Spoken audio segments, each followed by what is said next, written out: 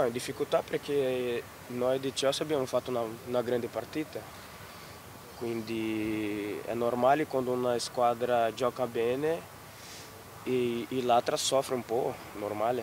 Però se alla fine del primo tempo Leão faceva quel gol lì, cambiava la partita.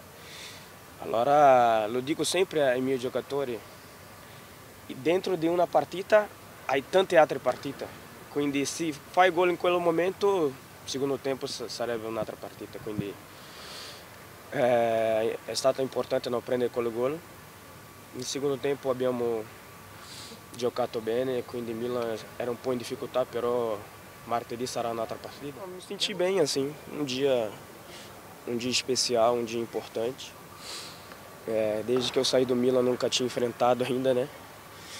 Então depois de 12 anos pude reencontrá-los, mas tenho certeza que terça-feira vai ser ainda mais que especial, porque foi onde eu vivi um dos melhores anos da minha vida. Espero que eu possa ter uma noite abençoada como, como a de hoje.